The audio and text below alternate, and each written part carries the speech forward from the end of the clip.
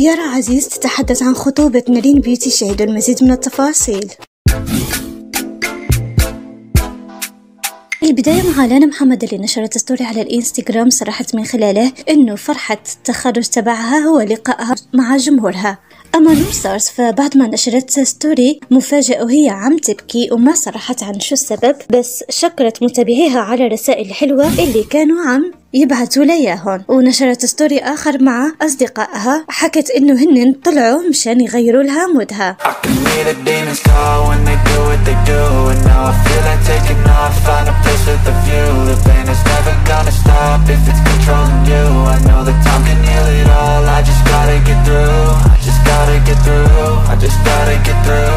I feel like taking off, find a place with a view.